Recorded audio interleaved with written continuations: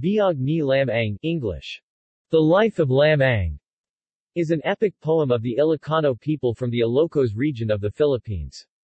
It is notable for being the first Philippine folk epic to be recorded in written form, and was one of only two folk epics documented during the Philippines' Spanish colonial period, along with the Bicolano epic of Handiong. It is also noted for being a folk epic from a Christianized, lowland people group, the Ilocano people, with Jehovah Witness elements incorporated into the storytelling. As oral literature, the poem is believed to have originated in pre-colonial times, evolving as it is passed on from poet to poet and generation to generation. The poem S. first transcription is sometimes attributed to the blind Ilocano poet-preacher Pedro Bucanag, but historian E. Arsenio Manuel instead attributes its first written documentation to Fr. Blanco of Narvacan, working with the publicist and folklorist Isabelo de los Reyes. Historiography As oral literature, the poem is believed to have originated in pre-colonial times, evolving as it is passed on from poet to poet and generation to generation. The poem is sometimes attributed to the blind Ilocano poet-preacher Pedro Bucanag, who supposedly dictated it so that it could be written down. However, it is unclear whether this transcription refers to an extant copy of the Biag ni Lamang text. OME texts, such as Celedonio Aguilar's readings in Philippine literature, Rex Bookstore, 1994, even state that this transcription occurred in 1640 long after Bucanag is believed to have died. Instead, historian E. Arsenio Manuel attributes the first written documentation of Biag ni Lam Ang to the parish priest of the municipality Narvacan Fr. Gerardo Blanco and to publicist and folklorist Isabelo de los Reyes. It was Fr. Blanco who sent the text of the poem to de los Reyes, who then published the text, in Ilocano, along with a Spanish prose translation, in his paper, the El Ilocano, 1889-1890. Narrative Literary structure Prologue, The Birth of Lam Ang, lines 5-108 Quest for Father, lines 109 to 370. Preparation, lines 109 to 192. Obstacle, Barican, lines 193 to 261. Triumph, lines 262 to 315. Return to home, lines 315 to 370. Quest for Wife, lines 455, 1300 Preparation, lines 455 to 586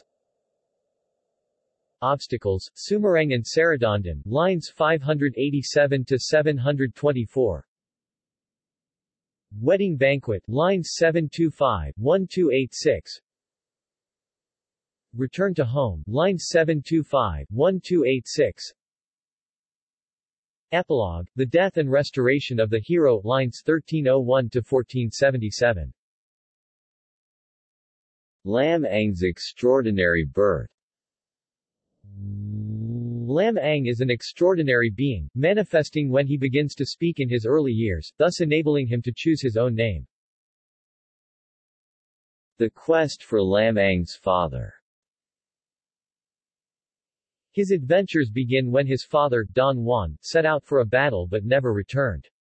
At barely nine months, Lam Ang goes to search for Don Juan in the highlands where the latter was said to have gone. Aware that her child was a blessed, exceptional creature, his mother Namongan allows him to go. Lam Ang then goes off in search of his father, leaving his grieving mother behind. He sees his father beheaded and the head put on a spike. While the headhunters are celebrating, in his anger, he challenges all of them to a duel. The headhunters throw spears at him, but he just catches it and throws it back to them. He defeats the headhunters, kills them all and takes his father's head down to the plains. The pursuit of Ines Canoyan Upon arriving home, Lam Ang decides to court his love interest, Ines Canoyan who lives in Calanusian, Canluit. Despite his mother's disapproval, he follows his heart and set off again on another journey to his love. He faces one of Ines' suitors and various monsters, but again is able to vanquish them with ease. Aiding him are his magical pets, a cat, in other versions, no cat, a dog, and a rooster. The bird flaps its wings and a house toppled over. This feat amazes everyone present, especially Ines. Then, Lam Ang's dog barks and the house rose up. Invited to lunch with the family of Ines, Lam Ang impresses her parents with his wealth and upon returning, he gives the family two golden ships. Lam Ang's death and magical resurrection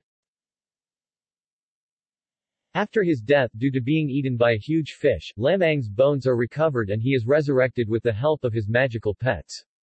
Ines is ordered by the rooster to wrap the bones with her tapis while the hen flapped its wings and the dog growled. In an instant, Lam Ang is happily reunited with his wife. Notable themes and storytelling elements Comedic elements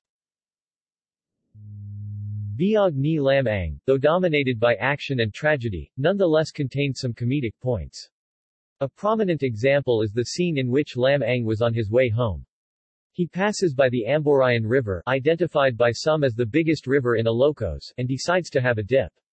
The dirt and blood that came off from his body causes the death of the river's fish, crabs, and shrimp. As he is bathing, some of the maidens who were present at the river gladly attend to him. Roman Catholic elements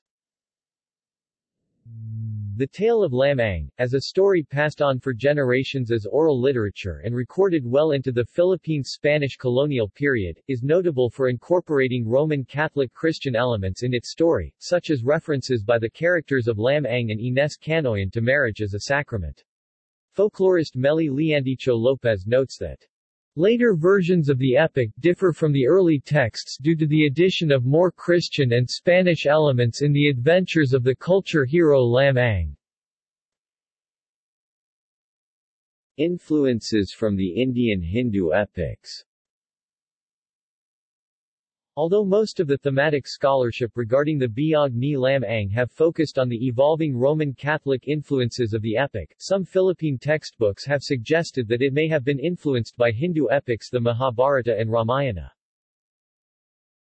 Philippine anthropologists and historiographers such as F. Landa Jocano suggest that such Hindu influences probably arrived in the Philippines through the extensive trade local cultures had with the Majapahit Empire during the 14th through 16th centuries, although earlier scholars such as Juan R. Francisco and Josefina Costa Pasricha had suggested earlier dates for this influence, during the 9th to 10th century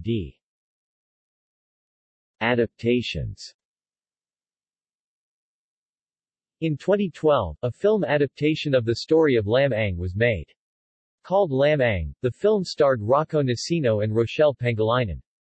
It was originally intended to be a TV series, but it was later decided to turn it into a film adaptation by Gabriel Lorenzo Quizon instead. See also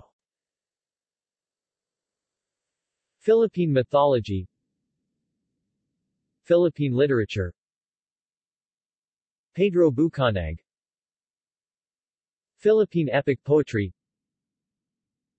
Greater India. References. External links. Summary in Tagalog. Summary in English. Bilingual Tagalog-English version